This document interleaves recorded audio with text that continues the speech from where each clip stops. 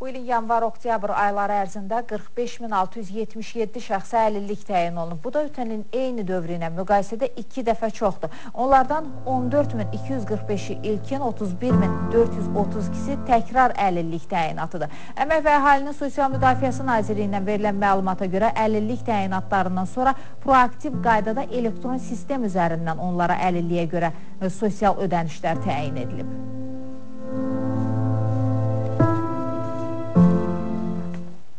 Azerbaijan